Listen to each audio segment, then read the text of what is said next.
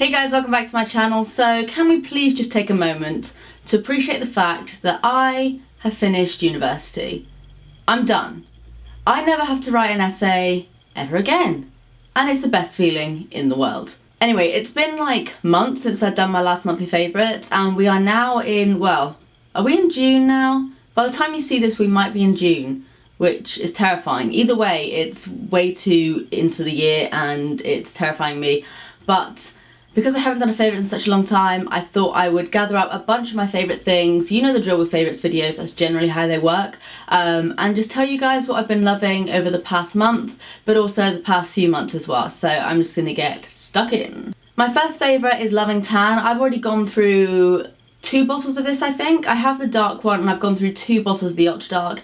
Um, this is just like the best tan if you want to get seriously, seriously dark. Like I'm not just talking tan, I'm talking like dark. I haven't got this on right now, I'm actually quite pale. I've been using the Bondi Sands Liquid Gold and oh my god, I've only had this for like two days and I'm already down to there and I've had like three coats of it on. I'm not dark, so this might appear in some sort of disappointing products video unless it suddenly sort of gets kicked into shape. But um, compared to this one, the Bondi Sands is like nothing. This one is so, so dark and it lasts for, like I said, about five days. It takes around six hours to develop, but I find it doesn't really smell that bad. I've gone out and I've had like the, um, whatever you call it, colour on my skin. And I've walked around and I haven't really sort of noticed anyone looking at me as if I look like I'm covered in fake tan. It doesn't smell or anything like that. Um, but yeah, this is like my favourite fake tan at the moment. I was having such high hopes for this one because I've seen so many people talk about it on Instagram. Um, but yeah, like it makes your skin feel nice. It does give you a nice subtle glow, but I don't want subtle glow. Like, have you seen my skin tone? My skin tone is like paper white and it just makes me look dead. So I like to stock up on this. Two coats, perfect. So next up, I don't know whether this video is going up before or after the other one, but as you can probably see by my eyeballs, they have changed colour.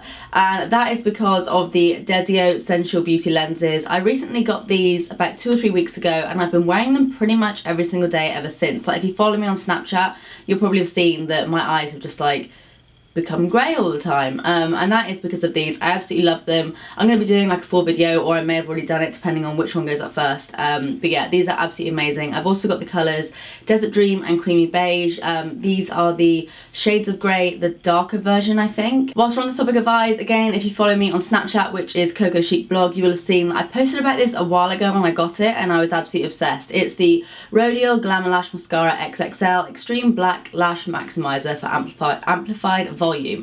This is like my favourite mascara ever.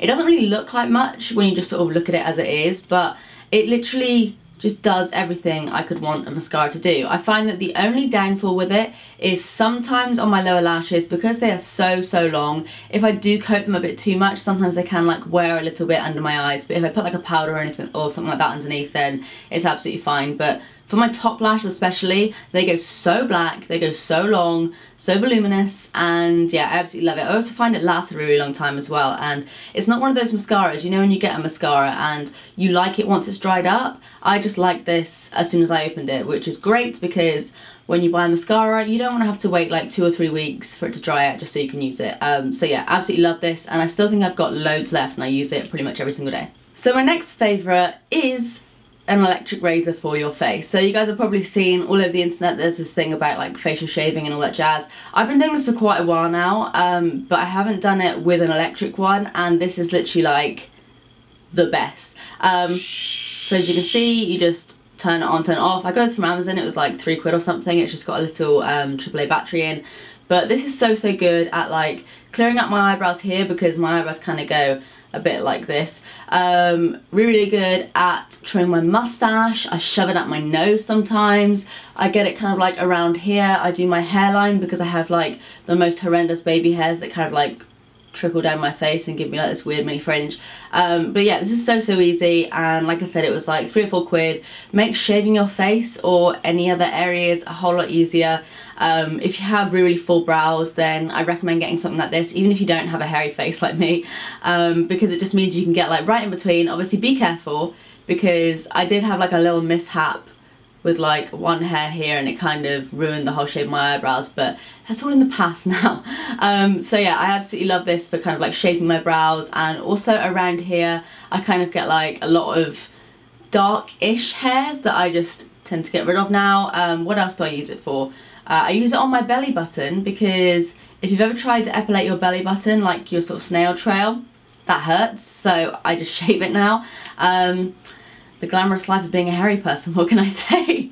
So we're still on the topic of hair products, this one being for my head, and this is the Lush Big Sea Salt Shampoo. Again, I hold this over on my Snapchat. I had this when I lived in Epsom, and I never used it again since. I don't know why, but I absolutely loved it. I'd gone through like three of these before, and oh, it smells so good. Basically, it's just, I don't know if you want to see this, it's like a standard sort of shampoo and then it's got huge chunks of sea salt in and what this does is it literally makes your hair like double in size. Now I've got, like I said, really, really thick hair, so my hair is quite like amped up, but because I've got so much of it and it's quite long, it does kind of drag itself down a bit. So when I have like my shorter layers like I've got now, I did have like my hair chopped recently, um, it kind of boosts it a bit more and just gives it a bit more volume and I absolutely love this. It makes my scalp feel so so clean. And I actually used to get psoriasis kind of on the back of my head in like a tiny little patch this big.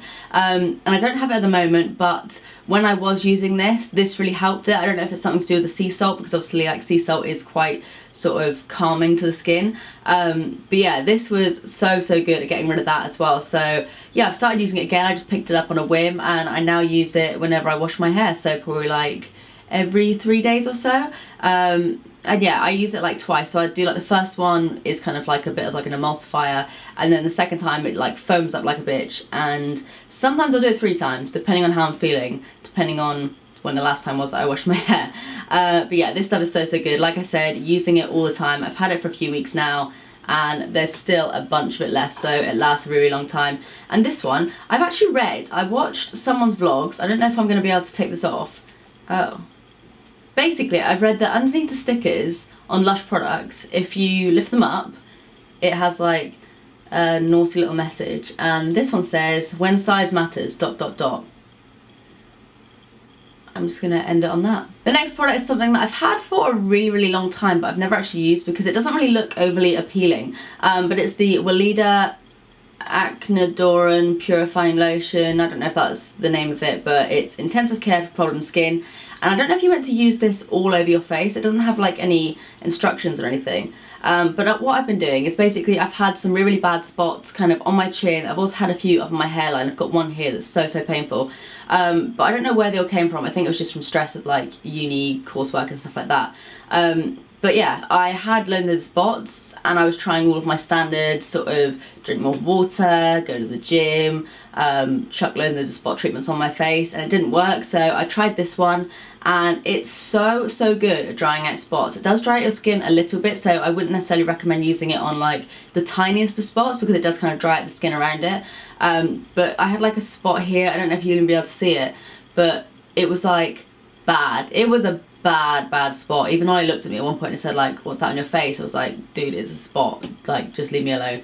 Um, but this helped to get rid of it pretty much overnight. Like the first night I put it on, it dried it out. And the second night I put it on again. And then the next day I was able to, this sounds so gross, but I was able to literally kind of like peel the spot off and the skin underneath had healed. So I've been using it with a cotton bud and I've just been kind of dipping it in and just popping it on all the areas that have spots and it works a treat. So like I said, don't know if I'm even using it the right way, but whatever, it seems to be working for me. For times when I've been whacking my legs out, which granted hasn't been that often because the weather in the UK has been horrendous, I've been using the This Works Perfect Leg Skin Miracle. I feel like this is quite similar to the Sally Hansen Airbrush Legs. I haven't used that before, but it seems to do kind of what everyone says the Sally Hansen one does. And it's basically got like a slight colour to it, kind of like a, a deep-ish orangey browny colour.